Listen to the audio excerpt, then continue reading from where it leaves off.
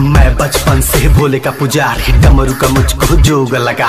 रोया नहीं कभी शिव भक्ति में, शिव चरणों का मुझको रोग लगा। लटकाली कालिया से है लपेटे गंगा, जो भी दर पे गया न रहा भूखा नंगा। फिर सबसे कहानी ऐसी सुन सुन के मेरे दिल में मची टेरिफिक दंगा।